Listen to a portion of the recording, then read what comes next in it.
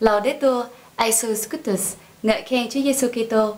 Vì Catholic xin kính chào quý vị và anh chị em trong tình yêu thương của Chúa Kitô và mẹ Maria. Kính thưa quý vị và anh chị em, Lan Vi xin kính mời quý vị và anh chị em theo dõi bản tin đặc biệt sau của chúng tôi.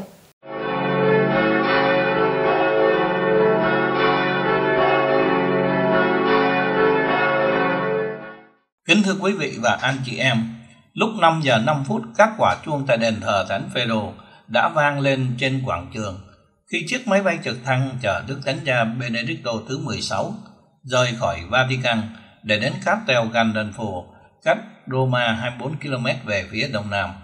Thị trấn này nằm trên đồi Alban, nhìn xuống hồ Albano rất đẹp.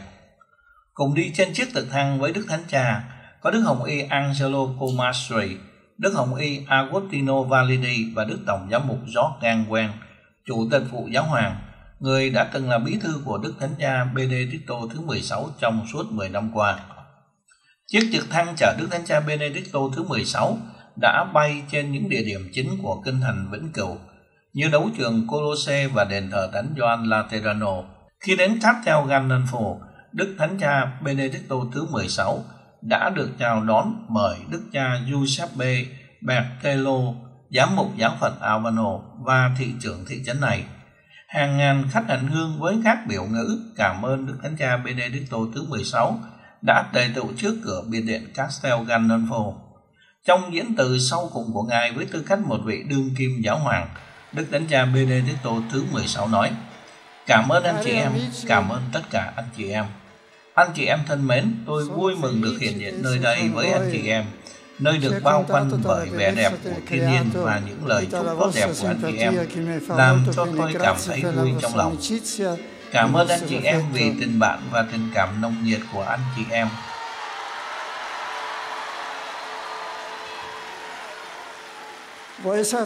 Anh chị em biết rằng ngày nay đã khác với những ngày tháng trước rồi.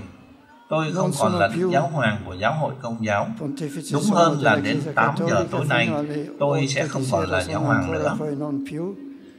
Tôi chỉ đơn giản là một người hành hương bắt đầu bước qua chặng cuối cùng của cuộc lữ hành hương thế của mình.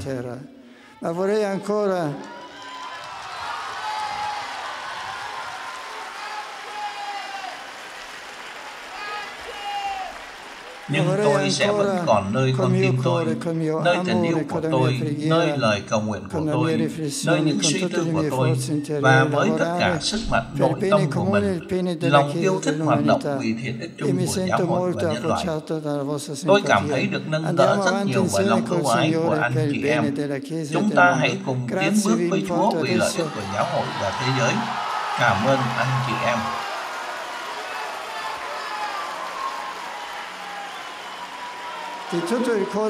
Giờ đây tôi thành tâm ban phép lành cho anh chị em. Chúc tụng Thiên Chúa toàn năng là Chúa Cha, Chúa Con và Chúa Thánh Thần. Chúc anh chị em ngủ ngon. Cảm ơn tất cả anh chị em. Diễn từ của Đức Thánh Cha Benedicto thứ 16 đã thường xuyên bị ngắt quãng bởi những tiếng hoan hô và những tiếng vỗ tay nồng nhiệt của anh chị em. Đức Thánh Cha Benedicto thứ 16 cũng đã nói lời tạm biệt qua Twitter Ngài viết rằng cảm ơn anh chị em vì tình yêu và sự nâng đỡ của anh chị em. Cầu mong anh chị em cảm nghiệm được niềm vui khi đặt Chúa Kitô ở vị trí trung tâm của cuộc sống mình. Kính thưa quý vị và anh chị em, đúng 8 giờ tối ngày 28 tháng 2, Đức Thánh Cha Benedicto thứ 16 đã chính thức thoái vị. Ngự lâm quân trú đóng tại Castel Gandolfo đã giải tán vì hết nhiệm vụ và đã trao lại việc bảo vệ biệt điện Castel Gandolfo cho hiến binh Vatican.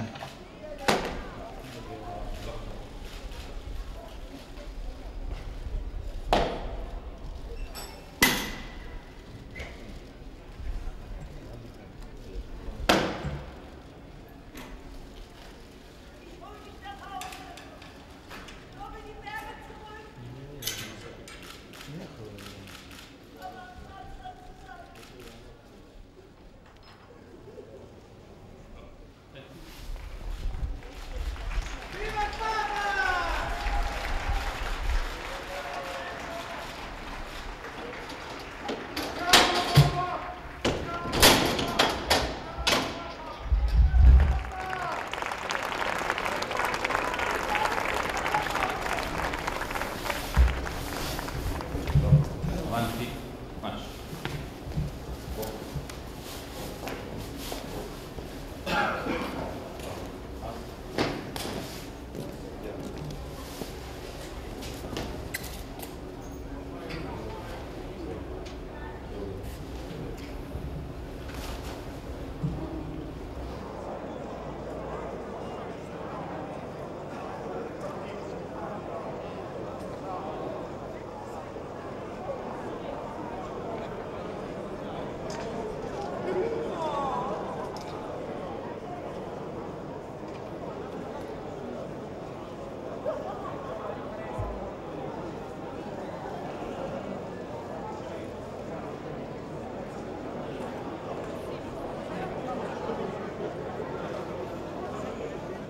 Trong khi đó, tại Vatican, lúc 8 giờ tối, Đức Hồng Y Nhiếp chính Tarcisio Bertone đã cùng đi với một nhóm các viên chức của Vatican đến niêm phong phủ giáo hoàng cũng như các văn phòng đã từng được Đức Thánh Cha Benedicto thứ 16 sử dụng. Trong khi Đức Hồng Y Nhiếp chính đọc công thức, thời điểm trách nhiệm lớn lao đã đến, các viên chức của Vatican đóng cửa không chỉ là văn phòng chính và phòng ngủ được sử dụng bởi Đức Giáo Hoàng mà còn cả thang máy dẫn vào khu vực này.